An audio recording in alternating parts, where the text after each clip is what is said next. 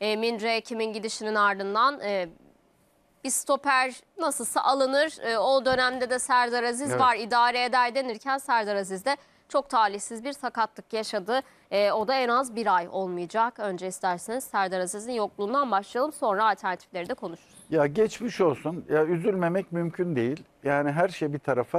Ya bu bizim evladımız, bizim çocuğumuz. İlla Türk olması da gerekmiyor. Bizim takımımızda oynayan, takımlarımızdan birinde oynayan bir futbolcunun sakatlanması bizi üzer. Kaldı ki bütün insanlık için de aynı şeyi söyleyebiliriz. Şimdi Fenerbahçe'ye ben şöyle yaklaştım sezon başı.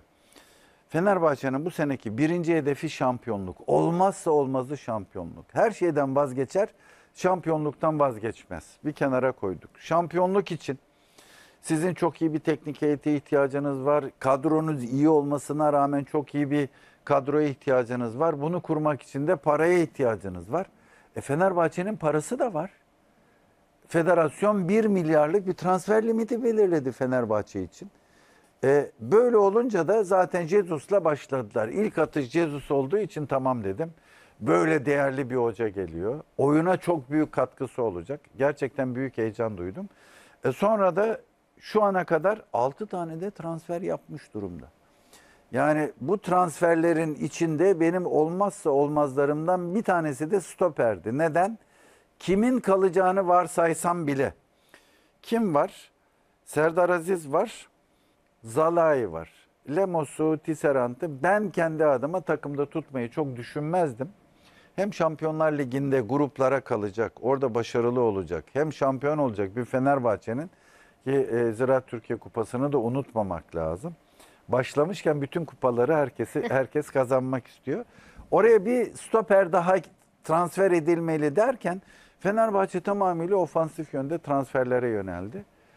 Ve kimin sözleşmesinde öyle bir madde olmasına rağmen e, gerekli tedbirleri almadıklarını şu an görüyorum ben. Kim takımla birlikte Jesus'un planlamalarında birinci sıraya çıkınca ben dedim ki hem başkan hem hoca kimle konuşmuşlardır, onu ikna etmişlerdir. O maddeye rağmen artık kim kalacak? Aa bir baktık. Hoca için de sürpriz oldu. E, Dinamo Kiev maçından 3 gün önce kim gidiyor dendi. O zaman Fenerbahçe defansı allak bullak oldu. Şimdi o allak bullak defansın içinde bir de Serdar'ın sakatlığı gelince bu sefer iki kere allak bullak oldu. Bu Fenerbahçe için çok olumsuz bir gelişme.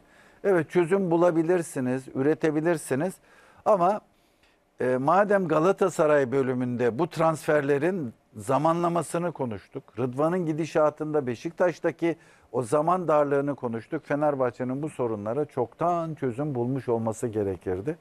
Fenerbahçe'de ne yaptığını bilmesine rağmen biraz zamanı hovardaca harcadı gibime geliyor. Benim kendi görüşüm. Hele hele kimin gideceği netleştikten sonra artık Tisserant'ın kalacağı neredeyse garanti gibi. Ama o Şu kalsın. tabloda zaten Tabii. çok O- büyük risk göndermek.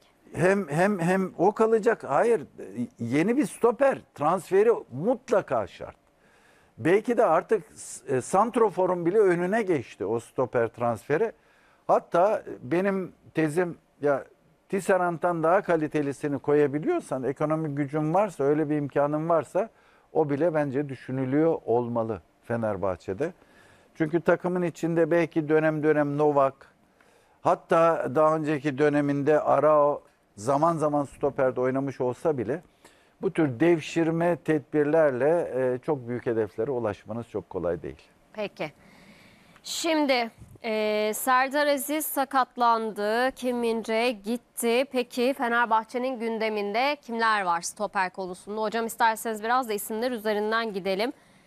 Şöyle bir haberimiz var. E, Güney Amerika'da bazı oyuncularla temas halinde olduğuna dair Fenerbahçe'nin. izleyelim üzerine konuşalım.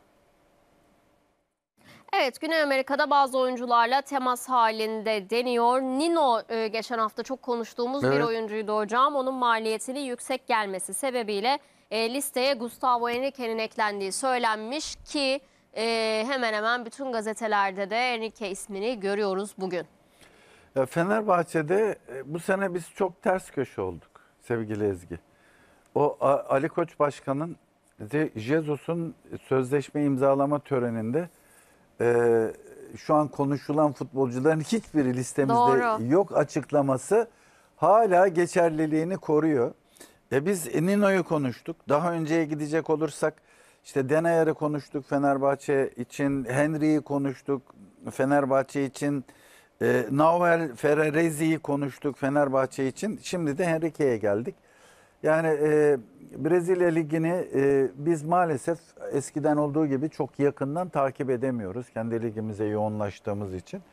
Böyle gündeme geldiği zaman yaptığımız araştırmalar e, aynı şekilde olumlu e, bazı bilgileri beraberinde getiriyor. Ben böyle anlarda onu tanıyan bir teknik direktörlerinin olmasını büyük bir avantaj olarak görüyorum.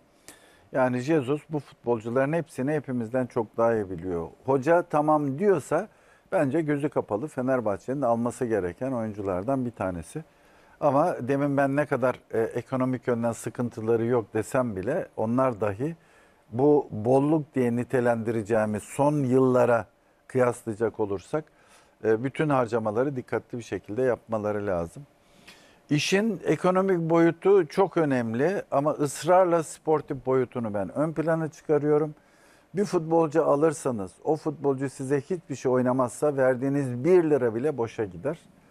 Ama bir futbolcu alır o futbolcu size çok şey oynarsa varsayalım sizi Şampiyonlar Ligi'nde gruplara kalmada büyük katkı sağladı. Şampiyonluk yolunda büyük katkı sağladı. Ona ödediğiniz paranın yüzlerce kat fazlasını o futbolcunun performansıyla almış oluyorsunuz. Bir de Fenerbahçe'de kritik cümle şu. Şuraya oda dolusu para koysalar, buraya da bir şampiyonluk kupası koysalar herhalde Fenerbahçelilerin hepsi o parayı bırakıp kupaya gideceklerdir. Şampiyonluğa gideceklerdir. Sportif başarı Fenerbahçe'nin olmazsa olmazı bu yıl için. Bence işin o boyutunu biraz daha öne çıkarmalarında fayda var. Kim Min Jae'nin sorununun çok daha önce çözülmesi belki daha uygun olurdu diye iddia etmeme, düşünmeme rağmen.